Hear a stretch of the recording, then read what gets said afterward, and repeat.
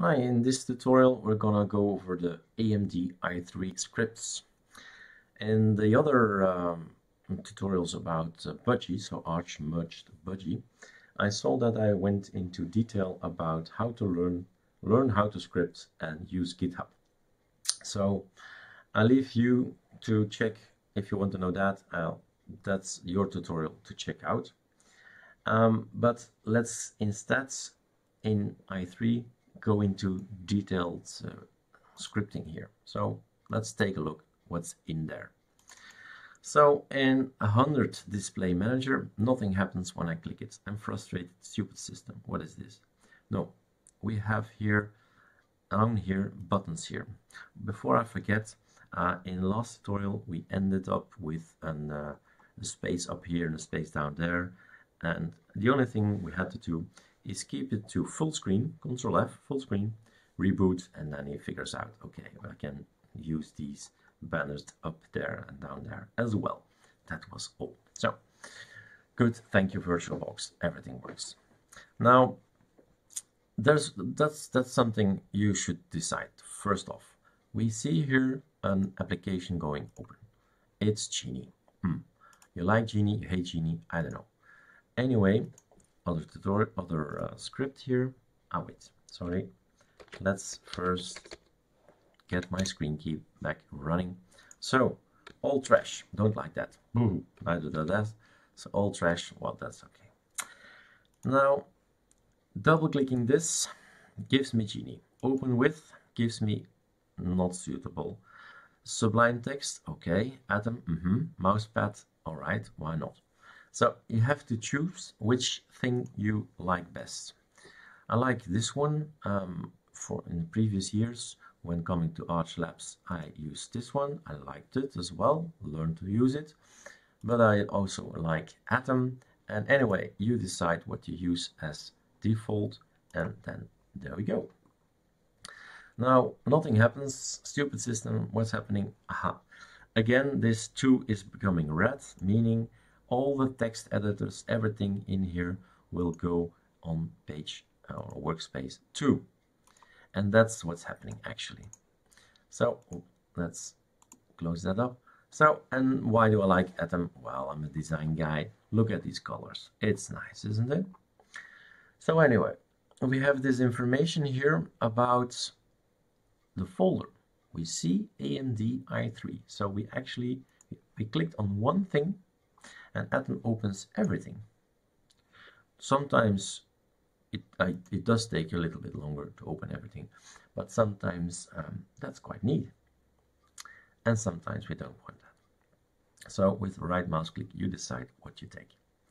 So, um, right, so this echo thing, echo, well, should I start with this?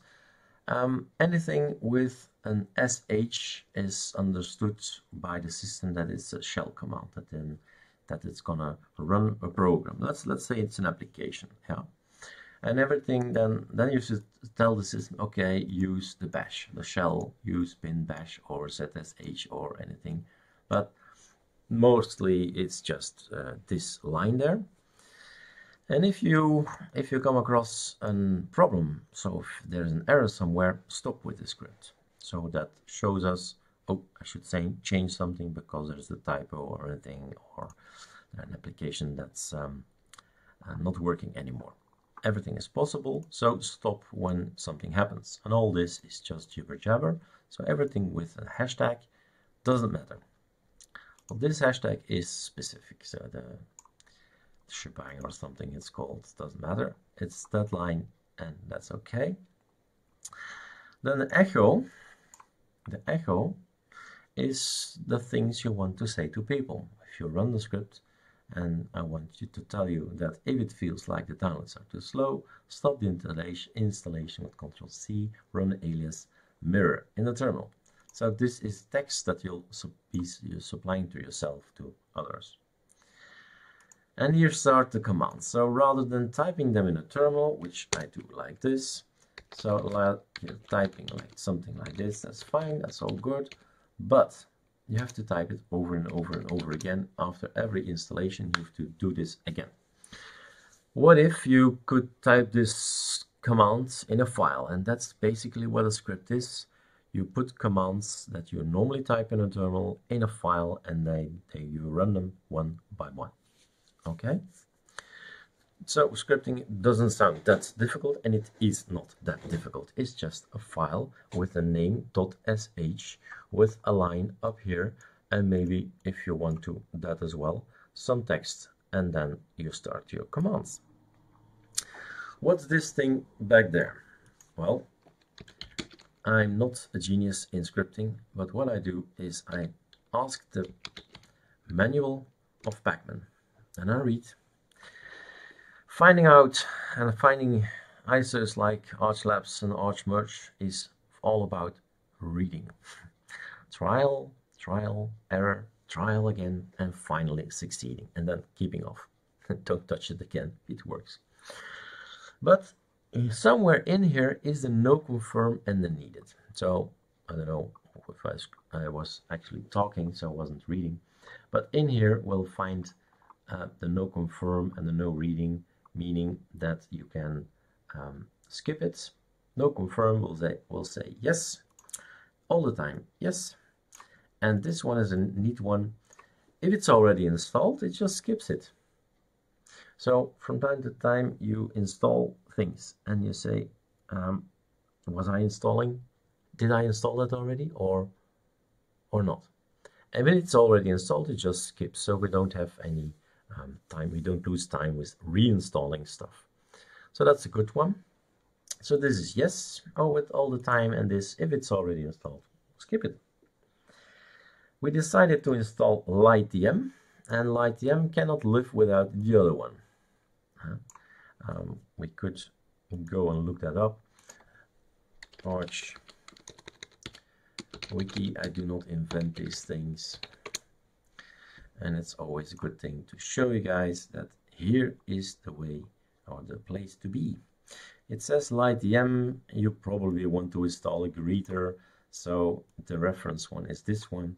It's not a nice one, it's actually a not so nice one, but doesn't matter uh, because in i3 you want to go to the desktop.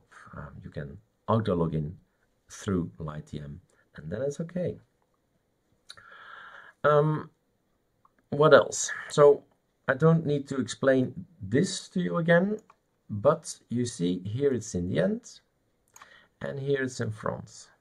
So it doesn't really matter where you put it, in um, up here or down there. It's okay, the same applies. And here is the more difficult bit maybe if you watched uh, my scripting.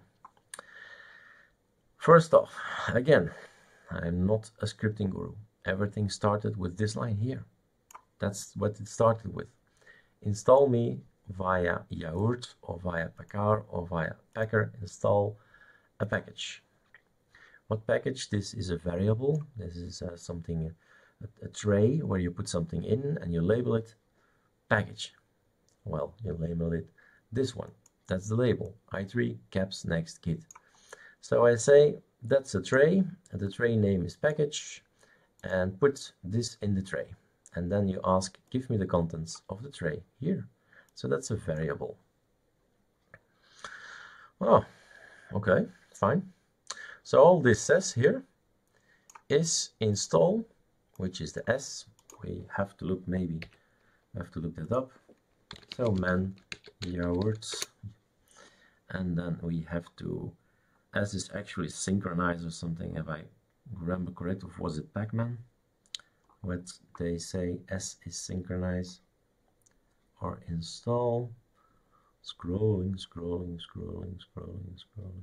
Here we find the no confirm already so I don't have to look for that here sync they call it sync well it's installing stuff so we're syncing packages from the AUR to our machine alright so we're installing stuff without confirmation coming from a variable that's up here that's what we do and then we made it more and more complex what does it do if pacman minus qi package uh, if that exists, if the q min i, what's that? Man Pacman. What's Q? Q is query. Okay, look, look, look for what? Scroll down, scroll down, scroll down, query minus I, info. Okay, let's let's try that. So sudo pacman minus qi qi Firefox. Yep, we got a lot a lot of information about this package. It's installed, it's a standalone web browser and so on. So what you're doing here is saying, okay, if the pacman exists, if that's true, put all the output, this is the output of this command, put it to something that's called dev null, so it's it's down the down the toilet, it's down, uh, it's it's it's it's gone, it's not used.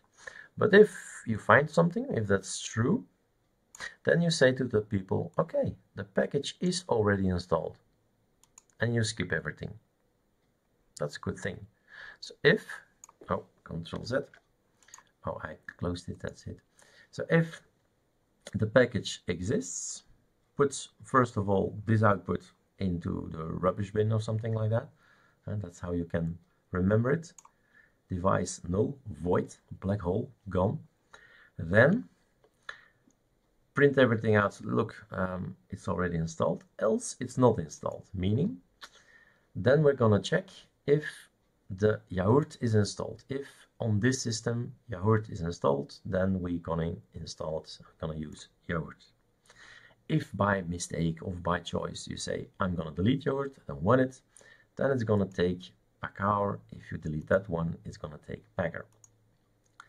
I decided in a few weeks ago to go to Yaourt rather than Packer because I noticed that Packer is not so clean in installing software. So it's going to use TMP, the folder slash TMP, but it had leftovers, so I didn't want that. So this is the folder dot um, slash tmp. Things are in here, and um, he uh, was filling it up, and I had problems with my TMP because it was filling up with uh, data, and then you don't have it anymore. You have problems. So two Yaourt for standard installation package, and that's why it's up here as first one. So you'll never get in here normally. And then last one just checking if installation was successful. This, this is quite handy for yourself. Nobody sees this. Uh, the echo is to tell to people, and this is just for yourself. If pacman package, if that package up there exists, then you say the package has been installed. And if he can't, if pacman can't find this, it can't reproduce any, it doesn't have any information on the package, ah, then it's not installed. Then you say package has not been installed. So that's the whole story about that way of working. Um, it's just a safeguard. This is actually a safeguard. If that's not installed, it's going to use that one, although else that one. All right. Last thing here, enabling services. You definitely need to read about system HTML. So I don't know if I can just systemctl, if that works.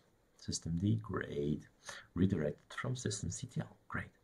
So you need to read this. You need to find out these are services that you can start and stop and restart and stuff like that. So it's quite important to be aware that you can start LightDM service, so the, the LightDM manager, and we need to do it within force, so forced because of the uh, rest, the residue on the ArchMergeD ISO.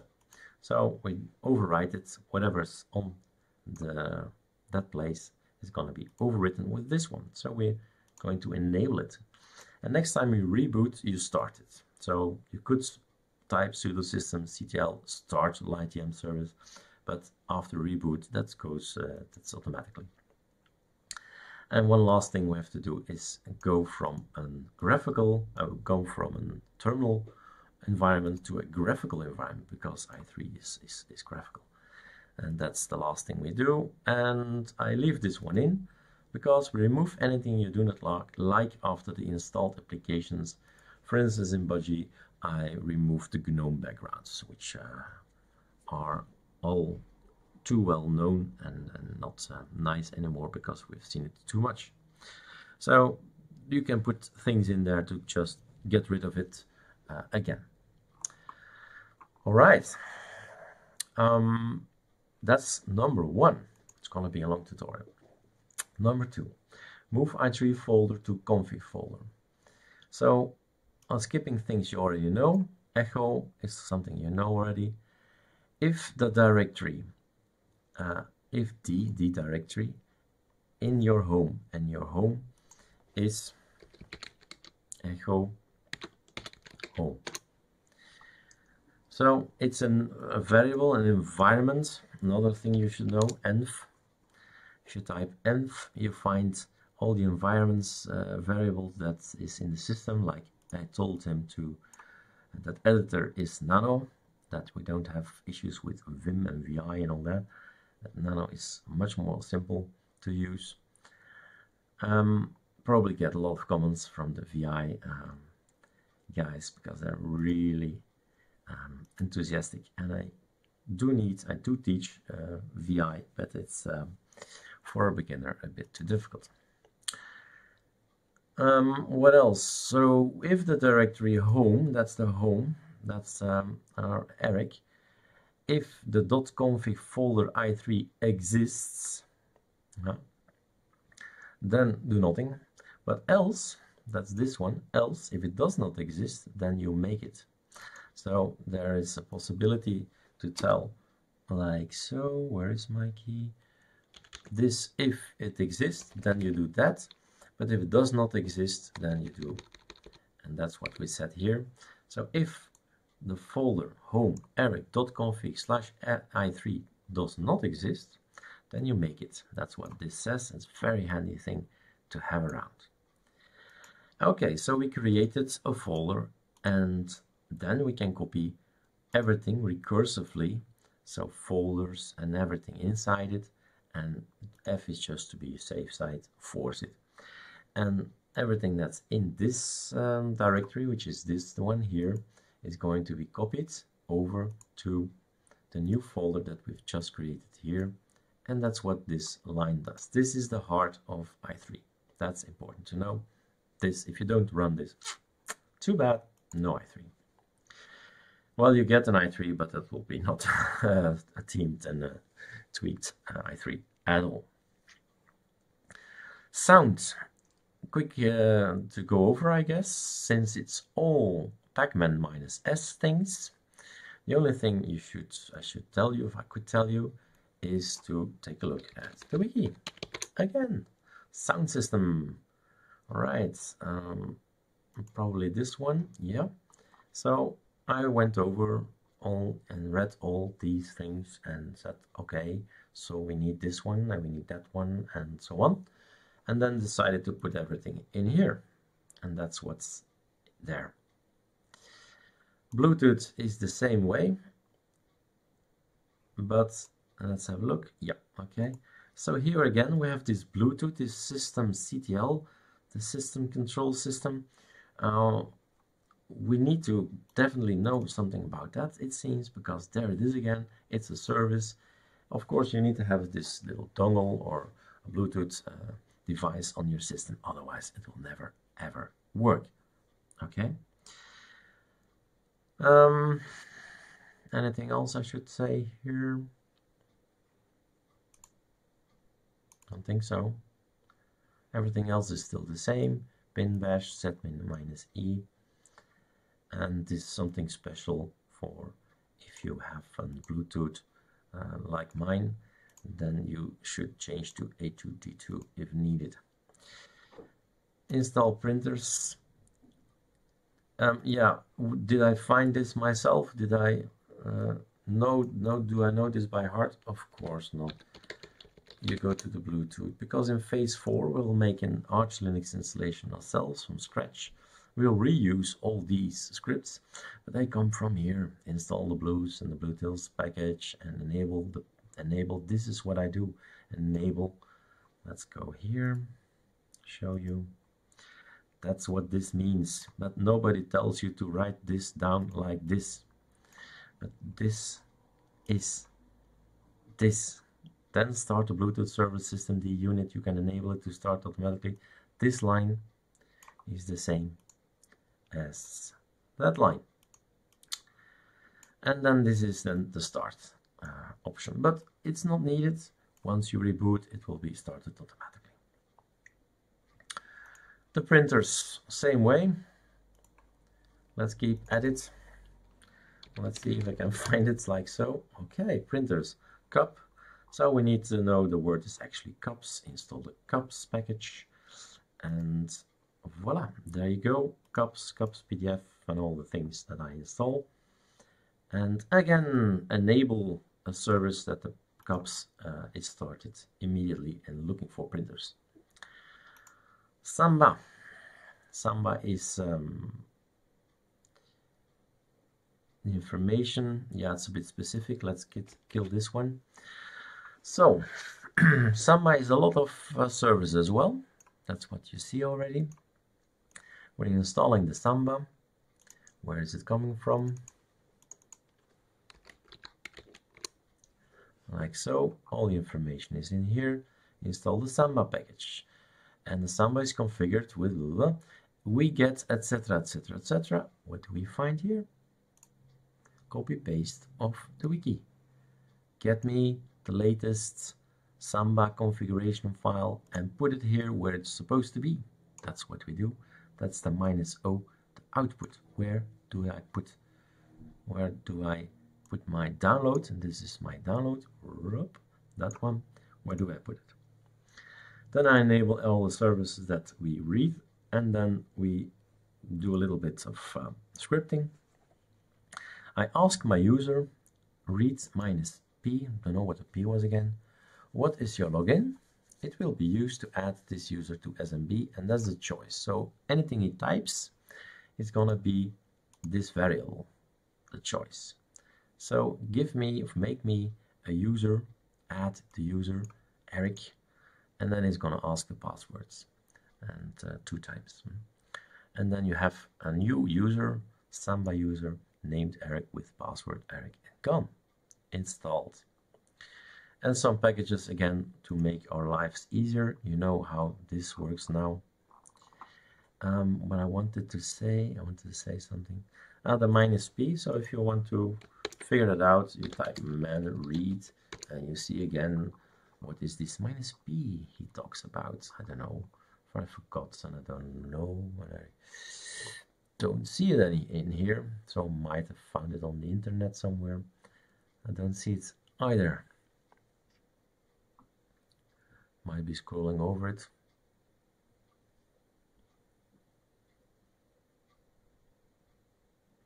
It will be a Google thing. We'll have to Google it. So, bye-bye. Next one. Again, these services do seem to be important. So the network discovery, if you want to have, um, let's see if we can try with the network what I'll do. Ta -da, ta -da. no that's a little bit too vague.